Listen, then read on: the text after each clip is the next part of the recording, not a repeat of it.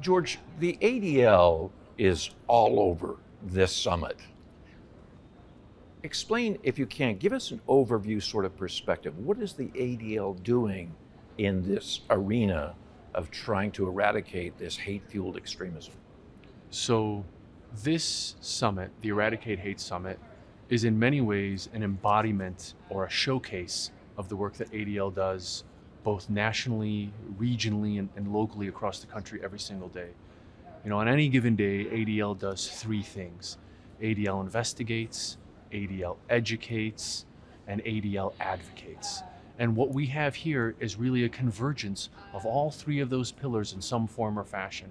So, ADL regional offices, our investigators, our researchers, and our educators are all here today to share our knowledge, best practices, lessons learned, and case studies from really the work that ADL does on the front lines combating all forms of extremism and anti Semitism across the country.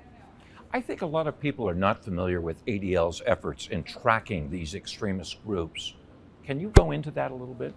So, part of what we know historically about studying the patterns and trends of anti Semitism is that many of the groups that have become household names today, the extremist, the anti government, the militia style groups, the history of anti Semitism in this country, you know, dates back decades.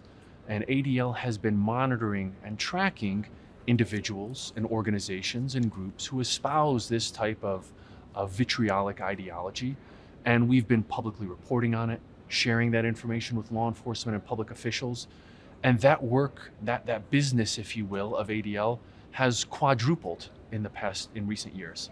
And so part of what we're doing here at the Eradicate Hate Summit is sharing the frontline information, the research, the analysis um, on the information that we've gathered about these types of threats, and also how we've worked cooperatively with law enforcement, public officials, and other civil society organizations to try to get ahead of or in front of these types of threats. Your efforts sound impressive, but also very expensive. They are. So ADL is um, is both a, a, small organization by some measures and large by others. Uh, ADL is about 25 regional offices across the United States, um, and we have dozens of uh, individuals who work in our offices from Southern California to Boston and kind of everywhere in between. And ADL regional staff are really on the front lines of working with schools, with local law enforcement, with public officials on this intersection of anti Semitism, hate, extremism, but also more importantly, not just on reacting to it, but also proactively bringing communities together, trying to preemptively find solutions, create and enhance dialogue, and working to advocate for measures at the federal, state, and local level and local levels that bring communities closer together rather than pull them apart.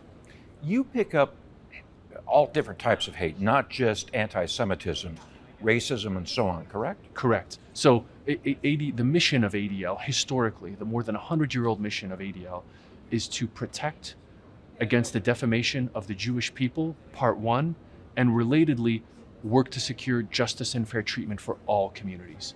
So this morning, I was moderating the panel on the lessons learned from the horrific act of domestic terror in, at the Buffalo Tops supermarket in Buffalo, New York.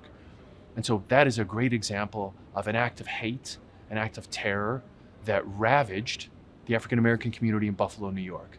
ADL was on the front lines of assisting with the response to that horrific attack because our mission and really our focus mandates it.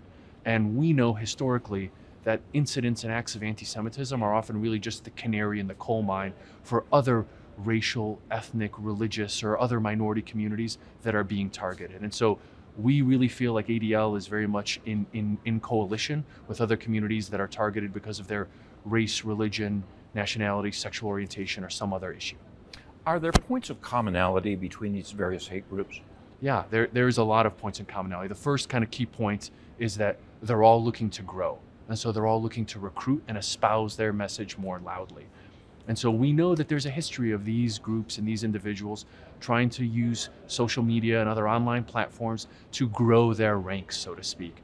And in many instances, they're competing for similar populations of people that could be predisposed or, or uh, interested in the type of ideology or advocacy that they're espousing. The second thing is, once their ideas are kind of put on online platforms, they go far, wide, and they do so very fast. And so part of the conversation here today at Eradicate Hate is what are some of the solutions, whether it's the, the live feed of a horrific attack of domestic terror like we've seen play out and we discussed this morning, or whether it's the content, the words, the manifestos, the ideologies, and how that goes from idea to someone espousing it and actually committing an act of terror. And, and we're trying to think through and work on all the creative ways to prevent and intervene that process of an idea going from online to someone acting on it. That's great. George, thank you very much for taking the time to talk to us. Thank you for being here, and thanks for all the great work of all our partners here at the Eradicate Hate Summit.